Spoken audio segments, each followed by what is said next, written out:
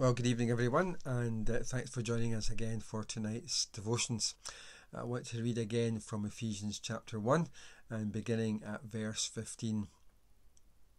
For this reason, ever since I heard about your faith in the Lord Jesus and your love for all God's people, I have not stopped giving thanks for you, remembering you in my prayers. I keep asking that the God of our Lord Jesus Christ, the glorious Father, may give you the spirit of wisdom and revelation so that you may know him better. I pray that the eyes of your heart may be enlightened, in order that you may know the hope to which He has called you, the riches of His glorious inheritance in His holy people, and His incomparably great power for us who believe. That power is the same as the mighty strength He exerted when He raised Christ from the dead, and seated Him at His right hand in the heavenly realms, far above all rule and authority, power and dominion, and every name that's invoked, not only in the present age, but also in the one to come. And God placed all things under his feet, and appointed him to be the head over everything for the church, which is his body, the fullness of him who fills everything in every way.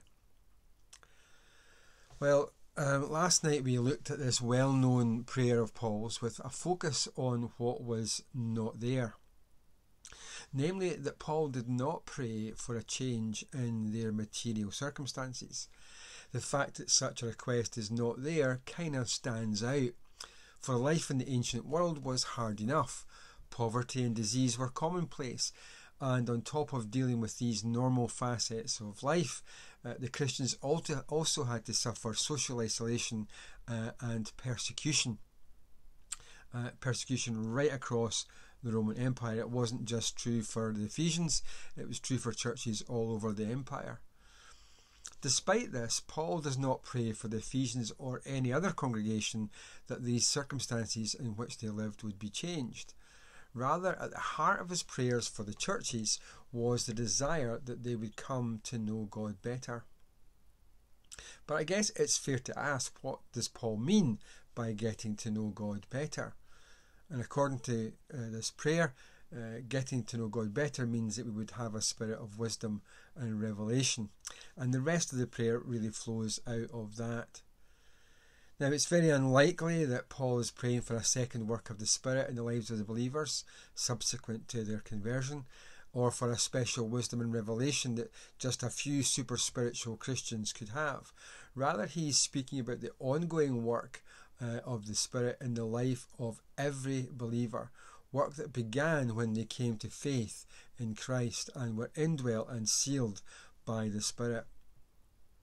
In John 16 and verse 13, Jesus told his disciples that it would be the Spirit who would lead them into all truth and, and that you get that sense of, of being led, of being taken forward.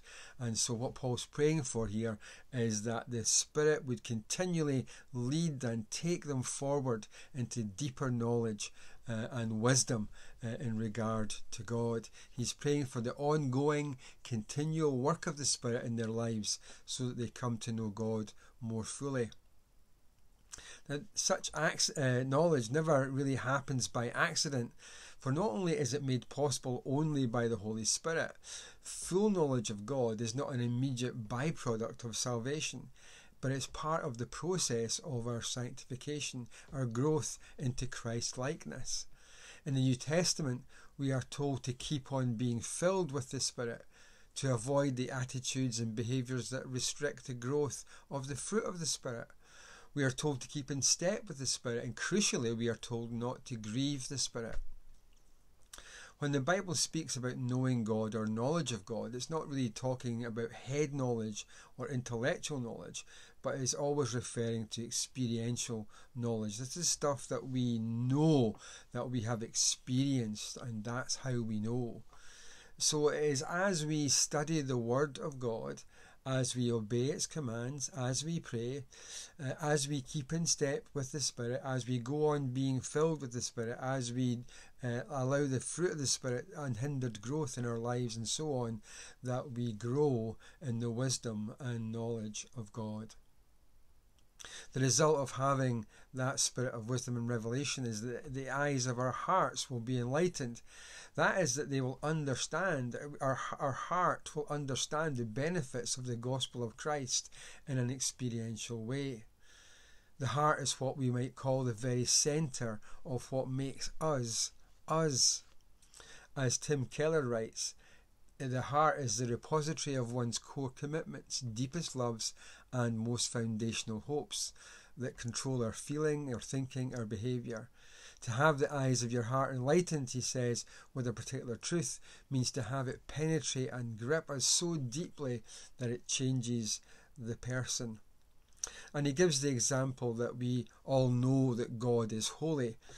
But when the eyes of our hearts are enlightened by that truth, with that truth, we find His holiness both wondrous and beautiful, and that in turn causes us to make the choices to avoid attitudes and behaviours that displease or dishonour that holiness. So it's not just knowledge and wisdom in the head, but it's, it's penetrated right to the core of our being and changed us.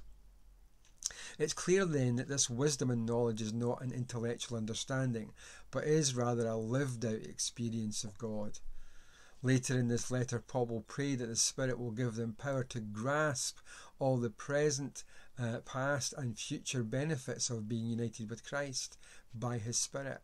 And that grasping, that understanding, is not just in their minds, but is expressed in the reality of their shared life with Christ. It is the Holy Spirit who gives Christians the knowledge of what God has given them in Christ. As Philip Melanchthon wrote, to know Christ is to know his benefits. For Paul, then, prayer is not merely a way of getting things from God, it is rather a way to get more of God in the sense that as we come to know Him more fully, or as Isaiah 64 7 puts it, prayer is a way of taking hold of God. Perhaps now more than ever, we need this very wisdom and knowledge. Keller makes a crucial point when he writes that most contemporary people base their inner life on their outward circumstances. Their inner peace is based on other people's valuation of them, how many likes and reposts they get, on their social status, uh, prosperity, on their performance. Paul is teaching that for believers it should be the other way around.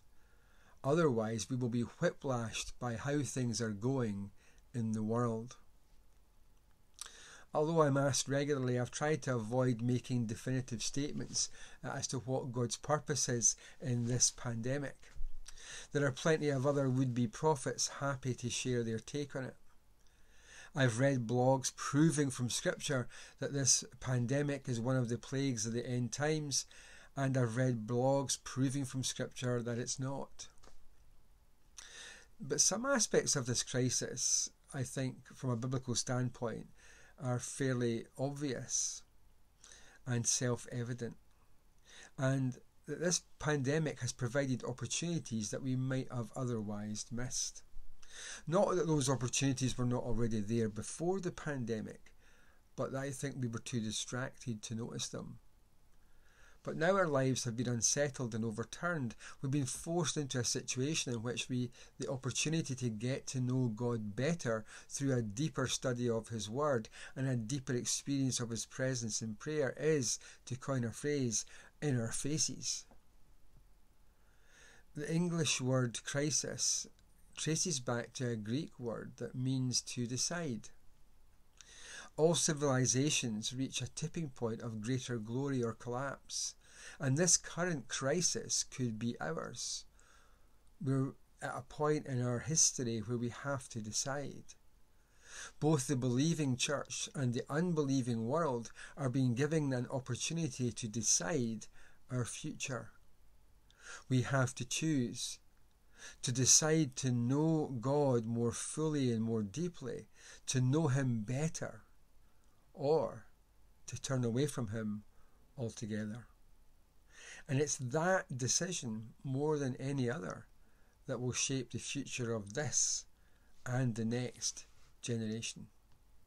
Thanks for listening.